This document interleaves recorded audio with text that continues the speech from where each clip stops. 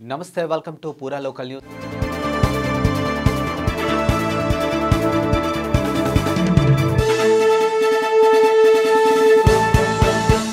ప్రజాపాలన అభయస్థం కింద జీహెచ్ఎంసీ పరిధిలో ఉన్నటువంటి పది లక్షల దరఖాస్తులు స్వీకరించినట్లు హైదరాబాద్ జిల్లా ఇన్ఛార్జ్ మంత్రి పొన్నం ప్రభాకర్ తెలిపారు.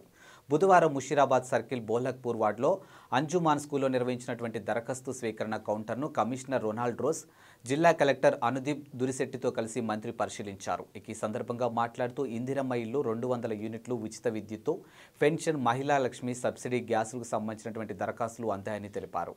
ప్రభుత్వం ఏర్పడి నెల రోజులు పూర్తయిందని ఈ సమయంలోనే ప్రజల కోసం అనేక సంక్షేమ పథకాలు అమలులోకి తెస్తున్నామని అన్నారు.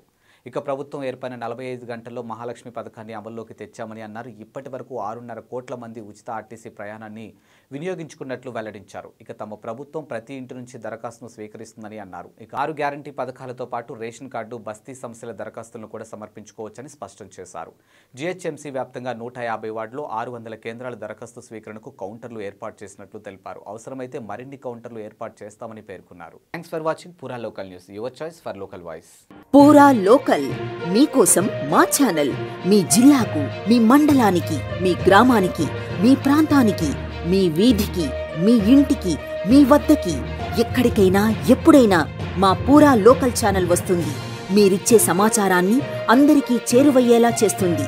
మీ గొంతుకని ప్రతి ఒక్కరికీ వినిపిస్తుంది. మీకు ఎల్లప్పుడూ అందుబాటులో ఉంటుంది మా Pura local. Your choice for local voice Pura local.